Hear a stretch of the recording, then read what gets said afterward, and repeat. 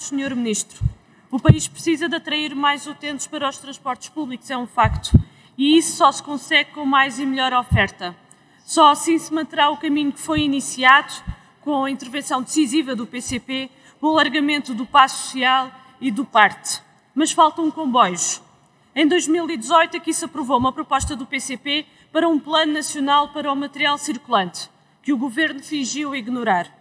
E os atrasos continuaram, apesar da urgência climática, social e económica. É preciso aumentar a oferta nas áreas metropolitanas, no longo curso e nas linhas regionais. É preciso retomar as ligações internacionais. Não adianta construir linhas se depois não há comboios. É verdade que estão a decorrer dois concursos, mas nestes 20 anos que o país não comprou qualquer comboio, muitos foram os concursos a correr. E por isso pergunto-lhe que garantias dá o Governo que estes concursos levam à rápida aquisição de novos comboios e que permitem também a concretização do aumento da oferta no longo curso, eh, no longo curso e no internacional. Sobre habitação, Sr. Ministro, crescem as dificuldades no acesso à habitação. Os custos atingem montantes altamente especulativos. Em contraponto, os salários dão para cada vez menos. Há cada vez mais famílias que receiam perder a sua casa e o orçamento não dá as respostas que são necessárias para que ninguém perca a sua casa e para assegurar que o direito à habitação é de facto para todos. Que soluções tem o Governo para impedir que as famílias percam a sua casa, considerando a perspectiva de aumento de taxas de juro? E eu queria aqui trazer-lhe uma questão concreta e um exemplo concreto daquilo que não deve ocorrer.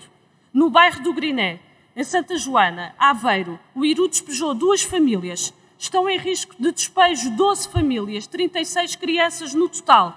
Habitações degradadas que estas famílias melhoraram, que têm contrato de eletricidade, que procuraram junto do Iru regularizar a sua situação e que nunca tiveram resposta do Iru para esse objetivo. E a solução que agora lhes é apresentada é o despejo. A porta da rua não pode ser a solução. No outro plano, o PRR tem sido apresentado como o alfa e o ômega para aumentar o parque habitacional público, mas o Governo sabe tão bem que as necessidades reais já identificadas pelos municípios são bem superiores às 26 mil habitações. Acresce a isto o facto do custo com os materiais de construção estarem a aumentar. Por isso a questão que se coloca é, Sr. Ministro, quando terminar o PRR, como é que vai ser? Como é que se vai assegurar o financiamento para que estas habitações sejam de facto construídas e se dá resposta às carências que estão identificadas? E sobre o arrendamento urbano? Porque continua o Governo a recusar soluções para garantir mais estabilidade no arrendamento, para pôr fim ao balcão dos despejos, para assegurar valores de renda que não sejam especulativos.